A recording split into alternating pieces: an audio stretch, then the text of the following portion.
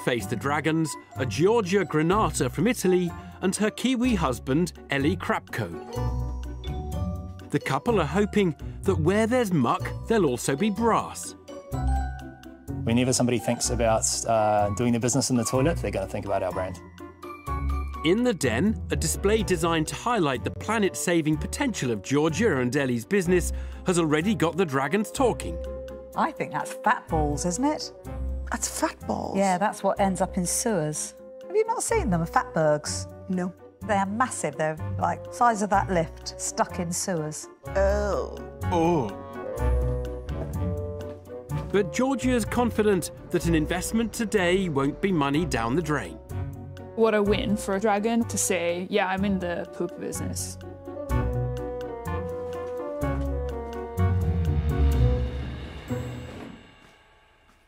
Hi, I'm Georgia. And I'm Ellie. And we're the founders at Wype. Wype is the eco-friendly way to clean up down there. Today, we're asking for £50,000 in exchange for 2% equity. Do you ever feel like toilet paper doesn't clean you up all the way? After all, dry doesn't clean. You wouldn't clean your dishes with a dry washcloth. And certainly if you had poo on your arm, you wouldn't be satisfied with just wiping it with dry tissue. So why do we feel any different about toilet paper? When I moved to the UK from Italy five years ago, I was desperately missing my bidet. And I found out that here it's quite common to use wet wipes. In fact, in the UK, 11 billion wet wipes are used each year. And of those, hundreds of millions are flushed, where they cause 300,000 sewer blockages every year. Here you can see a fatberg, a full-size fatberg like the one that occurred in Whitechapel was 250 meters long and weighed 130 tons. And I told myself, there has to be a better way to solve this problem. So I teamed up with Ellie and we created Wiped and launched it last September. Simply apply our specially formulated 99% natural gel onto regular toilet tissue to instantly turn it into an efficient, 100% biodegradable and genuinely flushable toilet wipe. We're on a mission to redefine toilet time, and we'd love to have you along for the ride. A cleansing gel which transforms a sheet of regular toilet paper into an environmentally friendly wet wipe is the offering from Georgia Granata and Ellie Krapko. And all you do, dispense one pump on the toilet tissue, spread it, wipe, and then flush it just like normal toilet paper. They're seeking a £50,000 investment in return for 2% of their clean green company. But something he heard in their pitch has thrown Peter Jones. Georgia and Ellie. Yep. The thing that really hit me was you said that it helps you when you have poo on your arm. So I'm a bit confused. Have I been doing it wrong all these years? I wouldn't know about that, but some nationalities it's acceptable to leave residue on their private parts when rationally if it was on any other part of your, of your body on your knee on your elbow on your hand you would not never okay so this is so this is a product for your bum absolutely. not, not yes. for your arm. No, I was just absolutely. making an example. no great. So in other words you've got to take a, a gel product put it onto toilet paper exactly. Yeah. and then wipe your bottom. Mm -hmm. exactly. Okay so who's your nearest competitor? Andrex.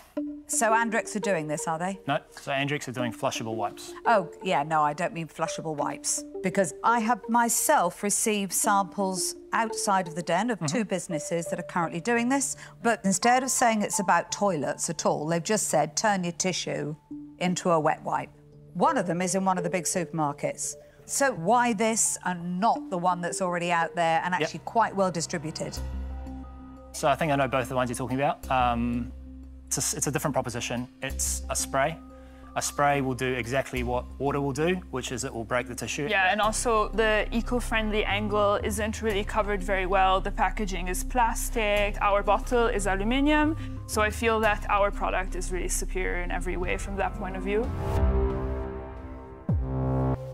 Georgia and Ellie believe their product has an environmental edge over the competition. Now, Steven Bartlett wants to establish if the couple have the CVs to transform the nation's WCs. Really fascinating business. What's your professional background? My background is uh, in product development in the fashion and luxury industry. Why are you smirking? Just because now I'm in the butt business. and, and I used to work in luxury. That's. And uh, my background, I was in the New Zealand Air Force for 10 years. And then since uh, moving to London, I've been uh, in e-commerce. Guys, I really, really get it. I think the concept's brilliant, and I think I can visualise it for me. Which is, I don't know if I want to say that. um, but also, I've got young kids. I have to come and help with the whole bum wiping situation. So I can totally see that this is much better to four or five goes with the toilet roll. Yeah. But my worry, because I'm sure any one of us could open the door to put this on a shelf tomorrow, mm-hmm. but it's not putting it on the shelf that's the challenge, mm-hmm. it's getting it off the shelf. Yeah. To raise awareness for a problem that maybe 90 odd percent of the population didn't realise existed and to change a consumer buying habit Yep. is going to take an enormous marketing spend.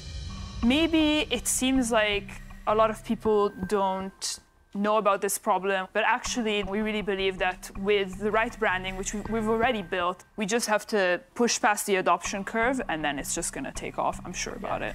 Yeah, I tend to think it's the education piece because you need to lead a change in behavior. And I think influencers are a good way to do that, who can really help change how people think about wiping their bottoms. The wall that we keep running into is that when you get influencers and ask them to talk about wiping your butt, um, a lot of them will politely decline. What you basically need to do is get a piece of tissue paper, put some brown mud on it, and get an influencer to hold it. Yeah. And then that should be enough to stop the thumb in the timeline. But you need to go for the provocation. Yeah, it's a good shout.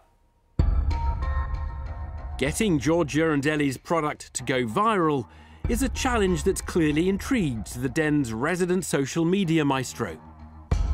But Touker Suleyman believes the duo could be overlooking a more straightforward route to market.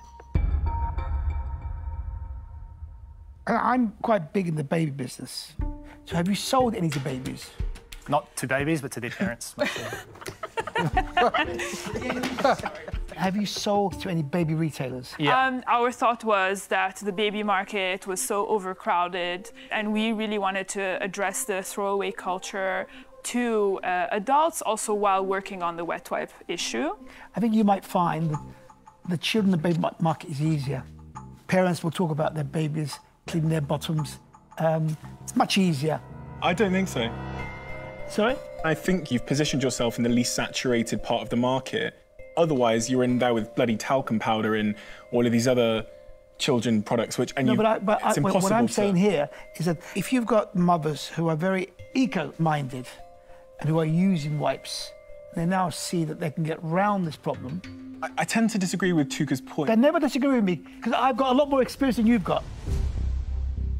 Social media? What do you know about business? What do I know about business, Touker? I built a 300 million pound business at 28 years old. Oh, come on, please. What did I say? Nothing. Carry on. Talk about social media. As I was saying before Touker got triggered there, I tend to disagree with Touker about the, the positioning and the narrative, right? So I think in terms of finding an interesting social narrative, this grown ups with dirty butts thing I think is pretty compelling, right? However, I'm sitting here and trying to decide whether I want to be in the butt business. For me, squirting a gel onto a piece of tissue paper, I can't seem to get myself excited about it. So for that reason, I'm going to say that I'm out. Georgia and Ellie have lost their first dragon, as despite a heated exchange, Steven Bartlett goes cold on the deal. And when it comes to the frequently thorny issue of valuation, Peter Jones is just getting warmed up. Am I right in thinking that you're valuing this concept at two and a half million? That's correct. We've raised investment at the start of the year at the valuation 2 million, How much of the company did you sell? 5%. So you've got 100k. Yeah. Okay. I'm genuinely concerned that the business is going to really struggle. You have nowhere near the amount of capital to launch a business with the ambition that you have. You need to go and raise a few hundred thousand, but I don't want to be one of those investors that invest 50k and then ultimately I'm diluted. So I'm going to say I'm out. But, you know, good luck. I think I love the brand, Thank you. Wype. I think it's cracking. Georgia, Ellie, I'm going to tell you where I am. Of course, I love what you do. You know, we're on this absolutely the same page. But I'm afraid I have been approached by another brand, and their valuation that they offered to me was better. Yeah. So I can't see that you would be able to meet my valuation expectations. So I'm not going to waste anybody's time. I'm out. Thank.